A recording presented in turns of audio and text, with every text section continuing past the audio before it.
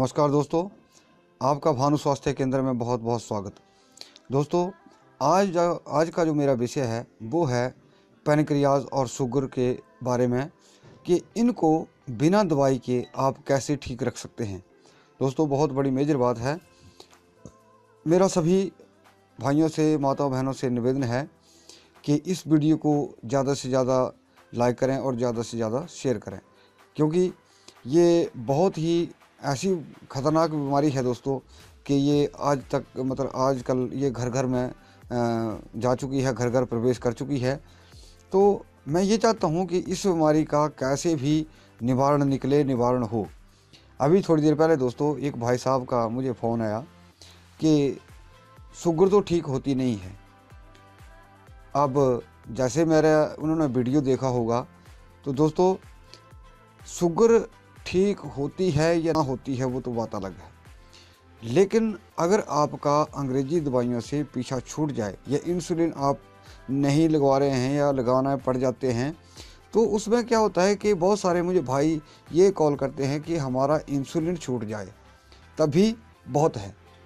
अगर इंसुलिन छोड़ दिया जाए या छूट जाए हमारा, तभी हम खुश हैं। लेकिन जिनको अभी शुगर या दवाइयाँ खा रहे हैं तो वो सोचते हैं, अब इसकी गारंटी तो दोस्तों, मेरा तो सभी भाइयों से अभी, और माता बहनों से ये विशेष निवेदन है कि कृपया लाइक वाला बटन ज़रूर दबा दें। अब, आज मैं आपको एक बहुत ही गहरी चीज़ बताने जा रहा हूँ दोस्तों, कि जो हमारा पेनक्रियाज है, उसको कैसे आप ठीक कर सकते हैं।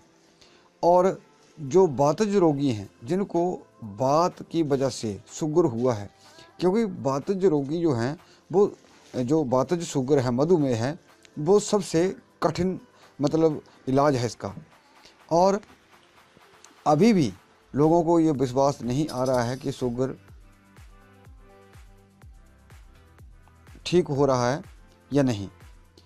क्योंकि दोस्तों, चौदह प्रकार के साध्य हैं। मैं मैं नहीं बोलता, ये ऋषि मुनियों ने कहा है, जो पौराणिक वैद्य थे, उन्होंने इस चीज़ की खोज कर रखी है। चार प्रकार के असाध्य बताए गए हैं। लेकिन अभी इसके ऊपर बहुत सारी, अभी हमारी भी खोज चली है कि जो चार प्रकार के हैं असाध्य मधुमेह इसको कैसे कवर किया जाए। तो जिन लोगों ने ये विश्वास मन में बना रखा है कि ये ठीक नहीं होगा तो दोस्तों, वो तो ठीक नहीं हो सकेंगे क्योंकि उनका मन में ही ऐसा बैठ गया कि ये ठीक नहीं होगी। पहली बात। दूसरी बात, दोस्तों, ये बहुत ही कॉमन चीज़ें होती हैं मैं पहले ही बार बार समझा चुका हूँ कि जब आपका पेनक्रियाज ताकतवर हो जाएगा, दोस्तों, आपका शुगर ख़त्म। पेनक्रियाज आपका इंसुलिन हार्मोन छोड़ना या बनाना, उसको स्क्रीट करना शुरू कर देगा, आपकी शुगर ख़त्म। अब देखिए, मैं एक भाई साहब ने मुझे कॉल करके पूछा कि क्या गारंटी है? क्या इससे जो आप दवाई बनाना बताते हैं या आप बना रहे हैं तो क्या गारंटी है कि इस दवाई से ठीक हो जाए? तो दोस्तों, मैं किसी को कोई गारंटी नहीं देता, पहली बात। वो इसलिए गारंटी देने वाला मैं कोई नहीं। दोस्तों गारंटी इसमें है। जैसे ये मैंने छोटा सा अपने हाथ में ग्लोए का टुकड़ा पड़ा पकड़ा हुआ है। तो दोस्तों, जो इसके गुण हैं, जो इसमें गुण हैं, इसकी खासियत है। मैं वो बताता हूँ कि ये क्या चीज़ कर सकती है। दोस्तों, इसका नाम अमृता है। ये आदमी को अमृत अमृ अमृता की ओर ले जाती है। तभी इसका नाम अमृता पड़ा है और दोबारा बोल देता हूँ, ये ऐसी चीज़ है जो मनुष्य को अमरता की ओर ले जाती है। इसके अंदर इसके प्रयोग करने से आदमी में सद्गुण आते हैं, सद्बुद्धि आती है। तो दोस्तों, मैं तो इसके गुणों का बखान कर रहा हूँ। मैं अपने, जो मैं किसी को दवाई देता भी हूँ या किसी ने मांग ली या बहुत दूर से लोग कई बार नहीं बना पाते, जिनके इलाके में नहीं होती है तो मैं क्या ठीक करूँगा किसी को? क्योंकि ये कुदरती गुण है। मैं अपनी अपने बड़प्पन नहीं कर रहा हूँ। मैं तो भाइयों, इस चीज़ का बता रहा हूँ कि इसमें ऐसा गुण है। तो आगे बात आती है दोस्तों कि पेनक्रियाज को कैसे ठीक किया जाता है।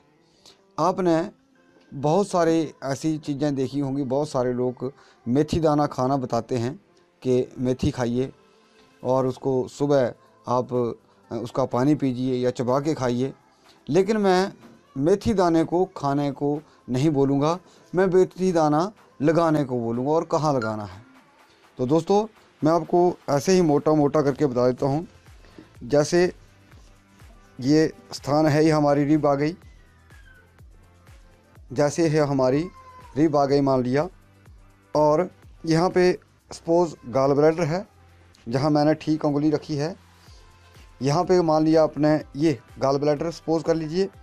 और ठीक जहाँ मैंने ये हाथ रखा है, इस इस जगह पे, ठीक इस जगह पे, जहाँ ये आपकी, ये लास्ट रिब है, इस पॉइंट के ऊपर, इस पॉइंट के ऊपर, ठीक इसी पॉइंट के ऊपर आपने क्या करना है, कुछ चार उंगल की आजकल आपको पता है मेडिकल स्टोर में पेपर टेप आ जाती है।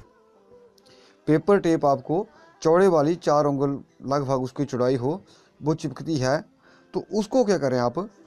उसके अंदर आपने 10-15 दाने बिखेर देने हैं, एक ही जगह। थोड़ा सा यानी कि जितना, समझ लीजिए आप कि जितना पहले मलका का रुपया होता था बड़ा, उतना बड़ा मान के चल चल पड़िए। तो यानी कि बड़े वाला सिक्का। तो उसको क्या करिए कि उस टेप को मतलब जैसे आपने ऐसे ऐसे उस टेप के ऊपर फेंक दिए, वो चिपक गए दाने, और बाद में वो टेप आपने यहाँ पे लगा देनी है, जहाँ पेनक्रियाज है। मैंने बताया यहाँ पेनक्रियाज का पॉइंट होता है, यहाँ पेनक्रियाज है। तो दोस्तों, ये इतना ज़बरदस्त फार्मूला है, आप सुबह इसको नहाने नहाने के बाद इसको लगा लीजिए।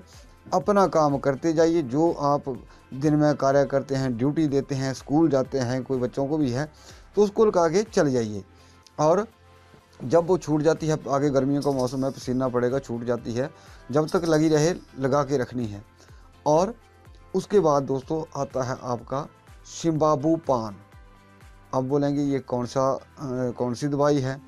दोस्तों मरवाड़ जी देसाई एक बहुत बड़ी हस्ती हुई हिंदुस्तान में और वो कभी बीमार नहीं हुए।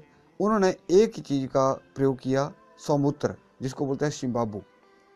सौमूत्र का पान किया और जिनको बातज है या किसी प्रकार का डायबिटीज़ है, वो सुबह अपना सौमूत्र यानी कि कम से कम चार, पाँच या छः, आठ चम्मच आपने ज़रूर पीना है। जो पी सकता है दोस्तों, मैं किसी को फोर्स नहीं बोल कर रहा हूँ कि आप पियो।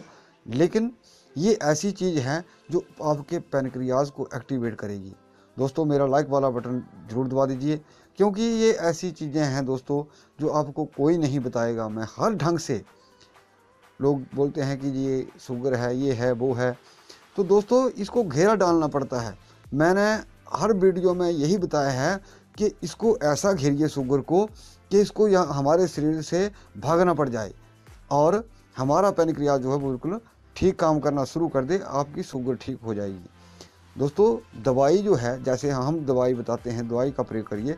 साथ में मैं ये भी बोलता हूँ कि जैसे मिट्टी का लेप करिए। अब मैं आज आपको समझा रहा हूँ कि मेथी के 10-15 दाने, जहाँ ये पॉइंट है आपका इसका पेनक्रियाज का तो उसके ऊपर आपने टेप लगा के उसको चिपका देना है।